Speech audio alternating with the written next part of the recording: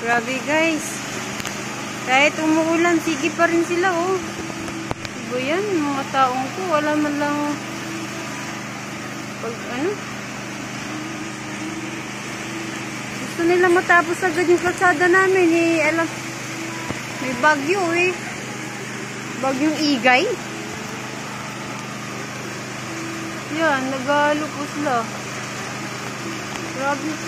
Sabi ko nga sa kanila, magpahinga naman sila. Palagpasin naman nila itong bagyo. Ayaw nila. Nanghinayang sila sa araw kahit na naulan.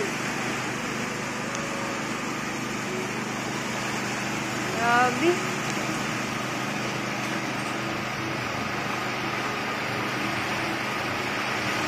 Binigyan ko nga sila kanina ng ano. Kanina nung hindi pa naula. Grabe na to. Kanina pa nga po to eh. Ito bigla-bigla na lang. Sumusulpot yung ulan. Malakas na hangin. Tapos, oh. Pagkatapos, mawala. Tapos ulan na naman.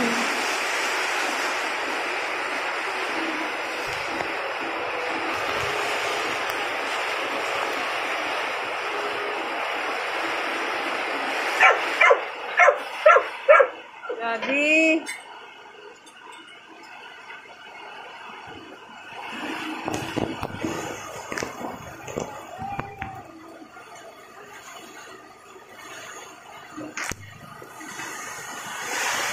Lolo ko. Nabali na nga yung ano eh. Oh, lakas po, malakas.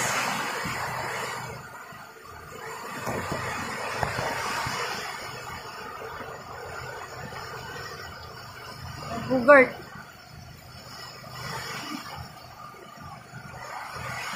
Libo sa ulan.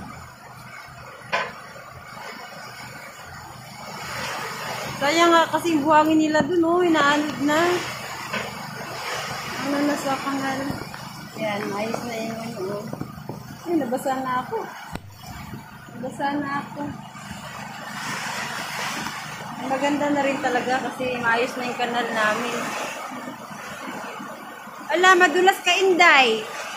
Takbo. Batang iri. Basa na rin lang naman siya, tumakbo pa. Oh my God. Yung signal number 5 sa... Ano? Ano na kaya?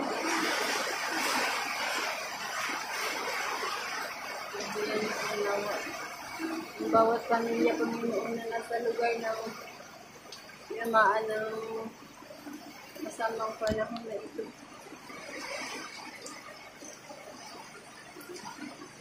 Nag-umapaw na yung tubig ni Kuya dun sa drum. Kasi yung ano,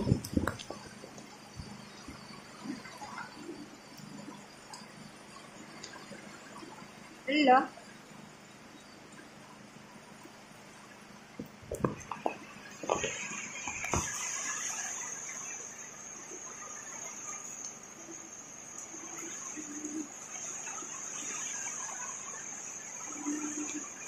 Hello, sinayaw-sayaw talaga yung mga puno. Nabali na nga po yung sanga ng babukado dun eh. Kasi ang lakas ng hangin, pwede nga talaga. Oh, basa na ako. Hmm? Wala na. Century, Carne Norte at saka corn beef na lang.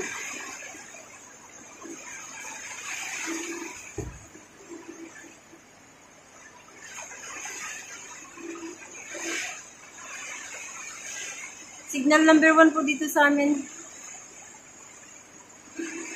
Eh, inaalala ko po yung yung lugar na may signal number 5. Ano na po kaya yun?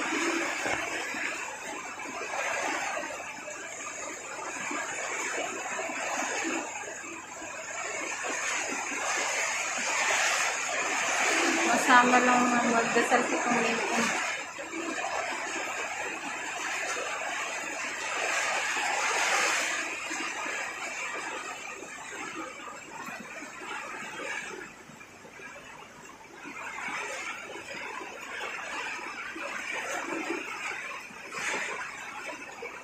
Binalot ko po ng plastic itong cellphone na hawak ko po kasi kung hindi, mababasabi talaga siya. Yung plastic po ng yellow. Plastic ng yellow. Kaya nabasa ako, pero yung cellphone hindi. Pag natapos na po ito, magiging mababa na po itong amin. Kasi mataas po yung kalsada. Okay lang, at least. Ano, maayos na po yung daluyan ng tubig. Kasi nung wala pa pong kanal, yan po. Nung wala pong kanal, ang tubig, dyan po talaga sa kalsada. Kaya, dahil lupa lang po, kaya na ano, nag, tawag ito, lumalalim ba?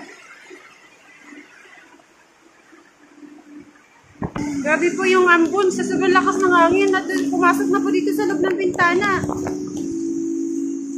Bintana na po. Oh. Umilag si Mingming kanina eh.